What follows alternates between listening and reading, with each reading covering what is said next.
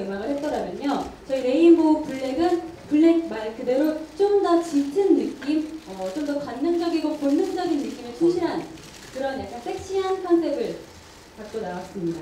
레트로풍의 디스코 댄스 음악이에요. 근데 이제 신나는 멜로디에 반해서 또 어, 가사가 굉장히 섹시하고 그런 매력이 있는 곡이고요. 어, 섹시 곡에 비해서 저 대한민국의 대표 발라드 가수이신 윤상 선생님께서 정말 곡을 써주셨습니다.